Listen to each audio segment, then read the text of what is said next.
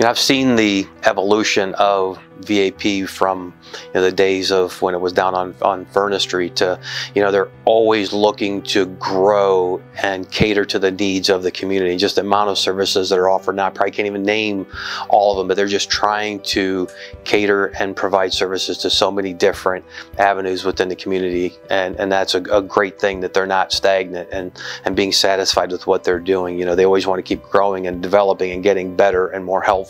I was, I was a lead detective on a murder. Is a very trying one because that impacted um, both families on both sides because of the, the situation um, that was there. So I saw the advocate with the uh, with our victim's mother through the whole way, you know, and I talked to them um, throughout the process and afterwards, and I just saw how much the advocate supported that mother and that family, and it definitely gave me a sense of peace knowing that they had somebody because it's not easy to navigate the court system in general and to watch the testimony and the case being presented of one of your loved ones who was murdered. Um, um, you know, I can only imagine what that family is going through. So to have the advocates there, um, you know, gave me a sense of peace for that family. You know, the police department, you know, we're in families' lives at some of the very worst times um, possible.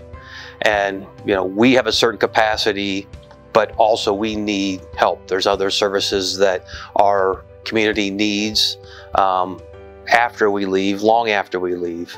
You know, I was in our detective bureau for about a year and a half and, you know, had several uh, homicides and murders and you know working with VAP with the surviving family members um, to work through the court system and to manage the loss of a loved one and just to see um, those folks in action you know they're a huge asset to the police department a huge asset to our community.